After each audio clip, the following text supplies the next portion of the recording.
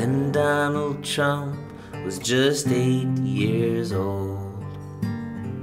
He bragged about how he'd beaten his father, how he'd gotten into these exclusive clubs, and they were boasting, and no one noticed back in those boys' home. Cribbage, the bath time, the big shower, and the little shower too.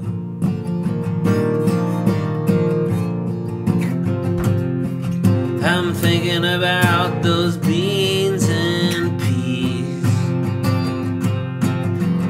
potato and rice and wheat,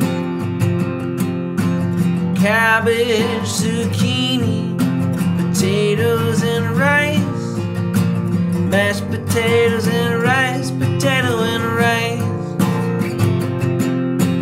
Mashed potatoes and rice, potato and rice. Mashed potatoes and rice, potatoes and rice. Mashed potatoes and rice, potato and rice.